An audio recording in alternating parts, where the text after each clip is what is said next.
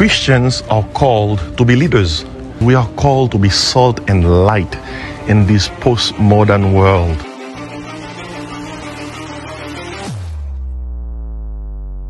When this world searches for a response regarding several issues, Christians should be on the forefront to provide those answers to the world. We are called to influence this world. We are called to impact this world. We are not called to follow the world. We are called to lead this world. Every Christian should be a leader. I have written this book, Christian Leadership for Today's World for every individual ready to lead.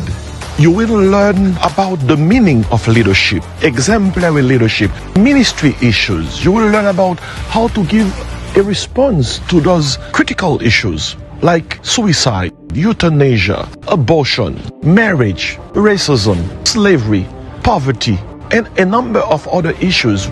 From a biblical perspective, this book will help you to lead in a godly way.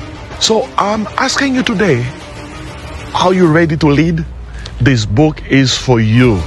I've written it for you. It's good for everyone in every walk of life. Just text me. I am ready to lead. And I will put this book in the mail for you today. 954 515 2669. 954 515 2669. Text me. Let's get ready to lead. I am Dr. Désiré.